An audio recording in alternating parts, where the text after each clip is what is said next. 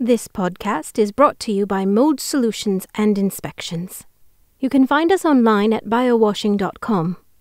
Asthma Triggers, Part 3. In this episode, we will discuss mold. Molds are microscopic fungi that live on plant and animal matter. Molds can be found almost anywhere when moisture is present.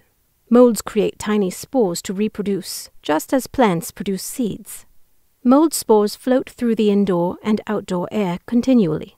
When mold spores land on damp places indoors, they may begin growing. For people sensitive to molds, inhaling mold spores can trigger an asthma attack.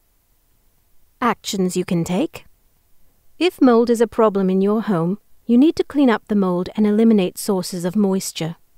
Contact a certified and insured remediation contractor.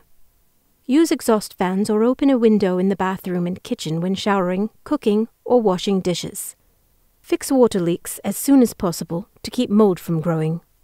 Dry damp or wet things completely within one to two days to keep mold from growing. Maintain low indoor humidity, ideally between 30 to 50% relative humidity. Humidity levels can be measured by hygrometers, which are available at local hardware stores.